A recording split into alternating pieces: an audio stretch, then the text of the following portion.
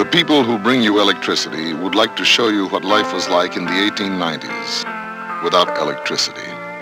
We do it to remind you of one simple fact. Electricity has changed the way you live, changed it for the better. Electric utilities and companies like General Electric would also remind you that you cannot have electricity without having power plants. Today, some people are saying the country has no need for more electricity. They think new power plants are a bad idea. If you're one of those people, look again at the 1890s. Is this your idea of the good old days?